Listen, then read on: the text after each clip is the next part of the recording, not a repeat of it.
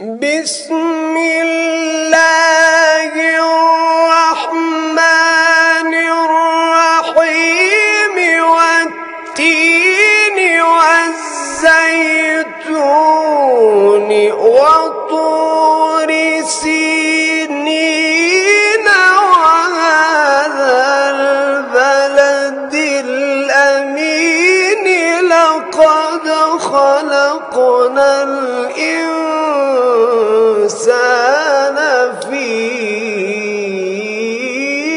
بإحسان تقويم.